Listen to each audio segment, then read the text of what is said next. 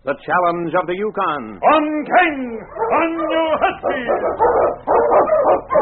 The Wonder Dog King, swiftest and strongest of Eskimo lead dogs, blazes the trail through storm and snow for Sergeant Preston as he meets the challenge of the Yukon.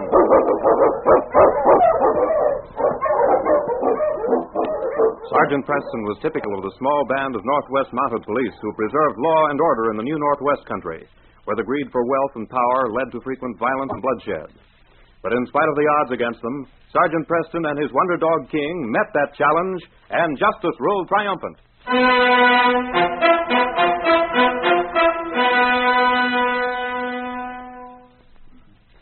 The cabin of Crazy Pete on Beaver Lake had been deserted since his death when a rumor had started that it was haunted. It was a sad looking place with leaky roof and sagging timbers. The Yukon winds howled through it, and prospectors gave it a wide berth when passing it at night.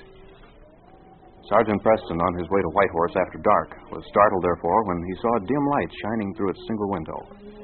He stopped his team and, with his lead dog King at his heels, knocked at the door that someone had set straight on its hinges. Who's there? Sergeant Preston, Northwest Mounted Police. Did you say the police? Yes. Just thought I'd see who was here. Well, come in, come in. Mind if I bring my dog? Well, no, not if he's friendly. He he looks kind of fierce. He's very friendly, unless I tell him not to be. Aren't you, boy?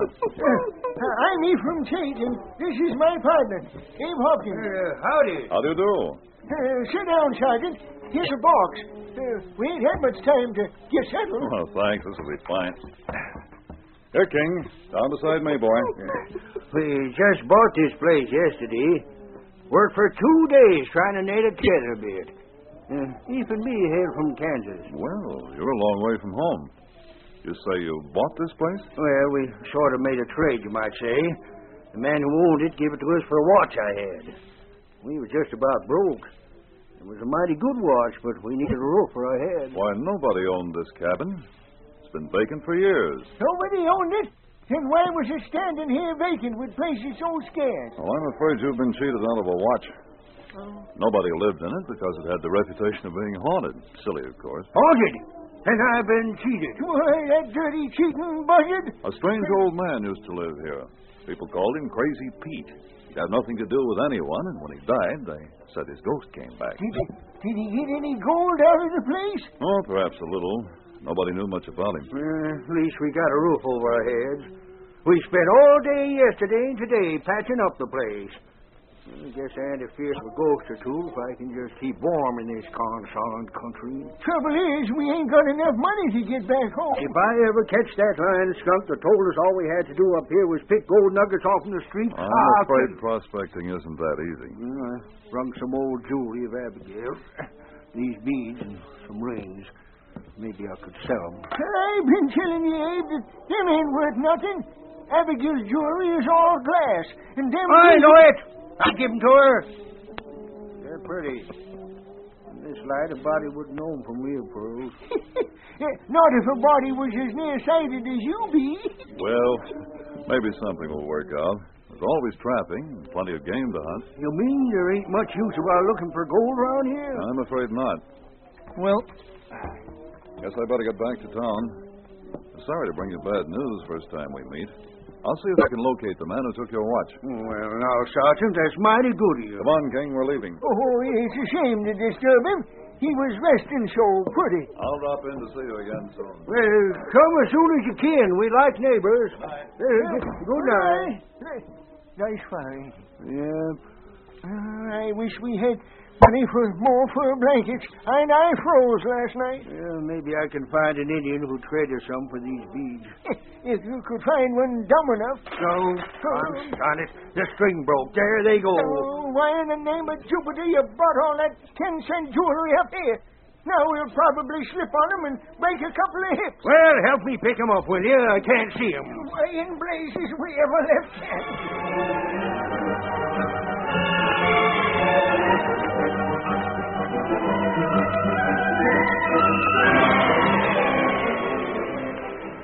Following morning, the two old men reluctantly dragged their creaking bones out of their bunks.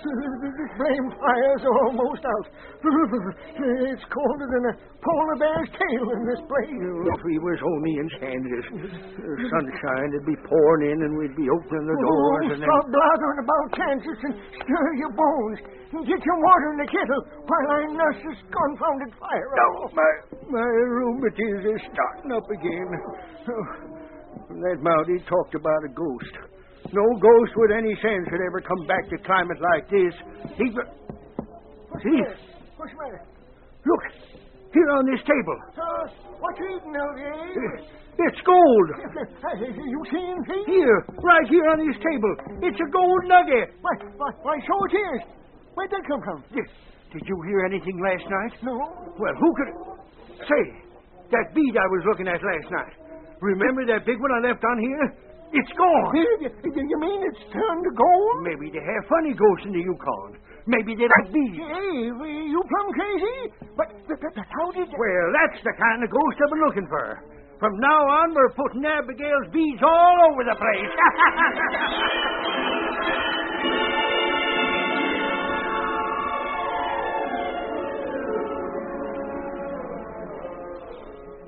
It was the following week, and some men were gathered in Jacques LaRue's trading post, listening with amazement to a weird story. See, this is one of the nuggets.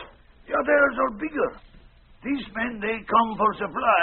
Uh, tell me about this nice ghost. Sounds fishy to me. yeah, it ain't possible. Yes, he is possible. I've heard many things about ghosts. yeah, but never such nice one. These men, all he must do is eat and sleep. These ghosts, he mind their gold. Sacre bleu, could I just once find myself such a spirit? Hey, Bill, come on. We gotta get going. Come on, Jake. I'll see you later, Jock. Bonjour. Uh, can you beat that? Them old codfish moving into Crazy Pete's cabin and having gold brought to him. Yeah, uh, explain what happened. Crazy Pete left a pile of gold around there someplace when he died. Just the way I thought he did. You mean you don't think they're getting the way they say they are? So he was digging in too, huh? Well, they ain't fooling me. I'm gonna show 'em a ghost that don't fool. Now, what do you mean? We're gonna visit 'em in the middle of the night. And if they don't tell this ghost where the gold is, they'll get the information choked out of 'em.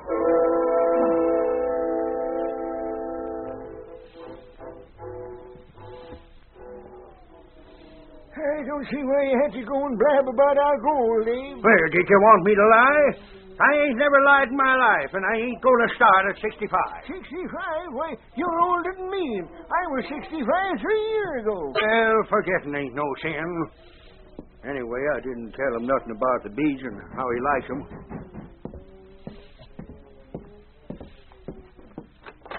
Hello. Well, if it ain't the sergeant back again, come in and bring that dog of yours.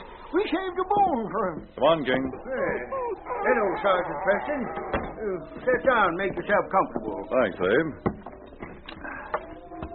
I came to check on some rumors around town. They say you've struck it rich. Oh, dear, Sergeant, it's our friendly ghost. Well, is it true that nuggets have been left in your cabin during the night?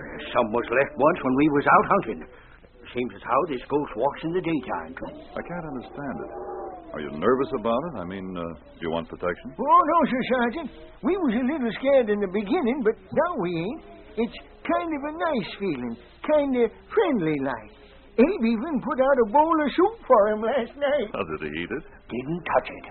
I thought you might want me to investigate. Oh, no, it, it might offend him. And he might be a fear to your dog. Well, as long as you aren't worried. You just tell everybody to let us be, and pretty soon we'll have enough money to get back to Kansas.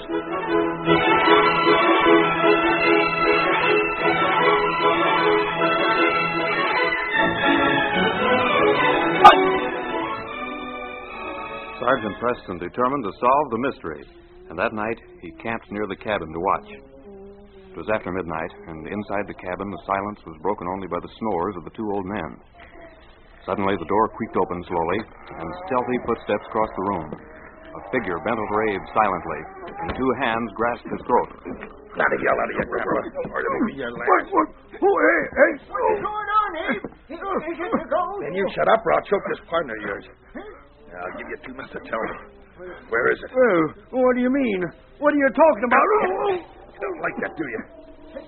Now tell me where that gold is hidden or out. Hey, what the hell? Take him off me! Get him off me! Help me! Keep him there, King. I'll light the lamp. What's going on? Who is it? Who's making All right, Eve. I'll have a light in a minute. Watch him, King. Take this dog away. All right, King. Let him up. Now, no funny business, or I'll let the dog finish it for me. Why, well, he's the man who took my watch. And there's a chain of it hanging from his pocket. Give me that, you. Did you get it, eh? You're darn tootin' out here. Where's Bill? I, I If told you him. mean your partner, he's out there handcuffed to a tree, too scared to yell. Come on, you. We're going out to join him. Watch him, King. I'll see you in the morning. Guess you're safe now. Come along, you. Well, well, thanks, Sergeant. You, you saved our lives. Now, you see, that's what you get for blabbing about the gold. I don't know why you're complaining. It was my neck he was squeezing. anyway, I got my watch back. Enough noise to scare a body to death. Uh, Abe, What? you you don't suppose we scared him, do you? You mean a, a ghost? Sure. He, he ain't been here. There's the bead still on the table.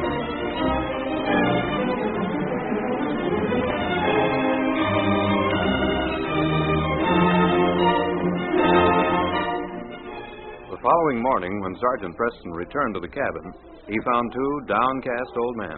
Well, you won't have to worry anymore. I have those two locked up, but won't give you any further trouble. Yeah? Well, Abe, you don't seem very happy about it. Oh, no, it, it ain't that, Sergeant. It's just that, well, we ain't going to get any more nuggets. What? What do you mean?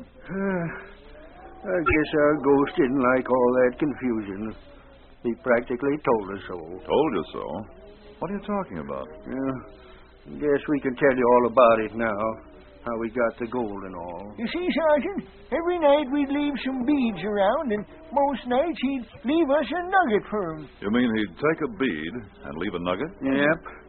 But after last night and all that noise, he took the bead, but look what he left. Just an old piece of dirty rag. Oh. That's just like saying he's mad, ain't it? Wait a minute. Let me see that rag. Maybe we can find this ghost. Here, King. Take a sniff of this, fella.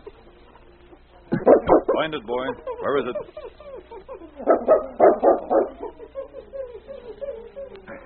What's he sniffing in the corner for? We'll soon find out.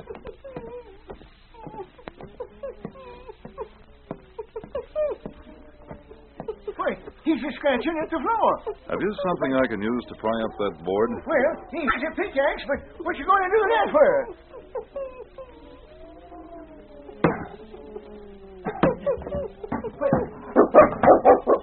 Well, I'm afraid you scared your ghost away, but here's his nest. See, there are your. Per- Why, look. Look at the sacks and the pile of nuggets. One of the sacks is busted open. Do you think they all have nuggets in them like that? Only jumping crickets. Well, it looks as if you have your fare back to Kansas. Fare? Why, we could buy half the state with all that. But uh, but how? Uh, what do you Your make of ghost is a pack rat. I'd have thought of it before. You see, they never pick up anything without leaving something in its place. This pack rat made its nest beside Crazy Pete's hiding place. The rat would take a bead and leave a nugget. A piece of cloth he left was part of the torn sack. Well, I'll be switched if that ain't right accommodate. I'm going to get me some of them critters to take back to Kansas.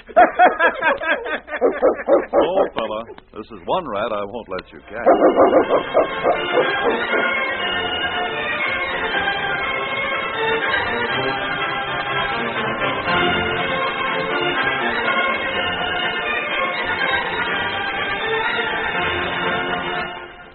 These copyrighted dramas originate in the studios of WXYZ Detroit, and all characters, names, places, and incidents used are fictitious.